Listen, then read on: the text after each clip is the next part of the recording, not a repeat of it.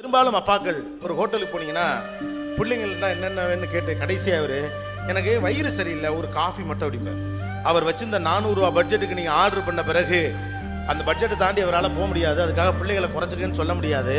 பல நேரங்களில் நீங்கள் இதெல்லாம் உங்கள் வீட்டில் செக் பண்ணுங்கள் அழுகின பக்கத்தின் அழுகின பக்கத்தை மட்டுமே சாப்பிட்ற அப்பாக்கள் நம்ம வீட்டில் நிறைய பேர் இருக்காங்க. ஹோட்டலுக்கு நீங்கள் போகிறப்ப உங்களுக்கெல்லாம் ஆர்டர் பண்ணிட்டு வெறும் காஃபி போதுன்னு சொல்லிட்டு திரும்பி வரக்கூடிய அப்பாக்கள் நிறையா. ஏ நான் ஆயிரம் இடத்துக்கு வெளியே திரும்ப போறேன் நான் போற இடத்துல சாப்பிட்டுக்கிறேன். அம்மாவுக்கு அது புரியும்.